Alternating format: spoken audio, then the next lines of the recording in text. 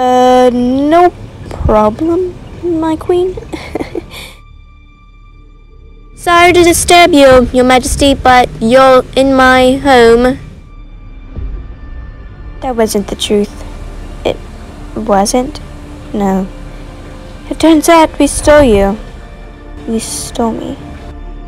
And you are? My name is Phoenix. I am your loyal guard for 24 hours. Well, I'm also the queen's closest pal. My mom's closest pal. I thought no one was allowed in here when the queen is gone. Oh.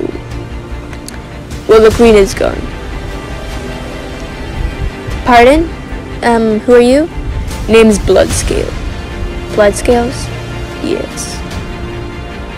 Is that your keen look? No. I haven't gotten it yet. I heard only royals could get their looks. It turns out a Silkwing's at the Seawing Kingdom and a Seawing's at the Silkwing Kingdom. Don't you ever want to find your real family? No. I want to stay here with my mom. I don't care if we're blood related or not.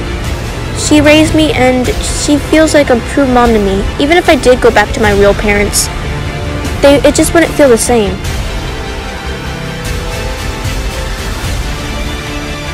We all go to the arena for a battle. And one who wins gets to be set free. One who loses will perish and die. I need to change that rule once I become queen here. Thank you, Hotwing, for letting me know. No problem. Hello, princess.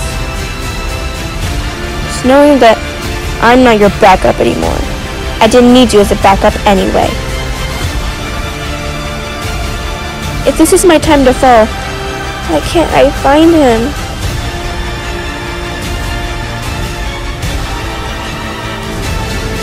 If you think about anything, I will kill you.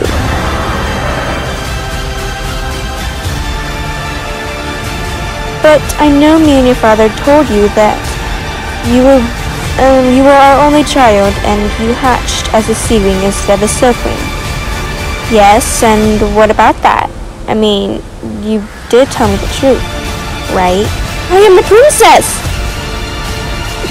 this guy is unbelievable. Bloodstripe! I'm not done with you yet.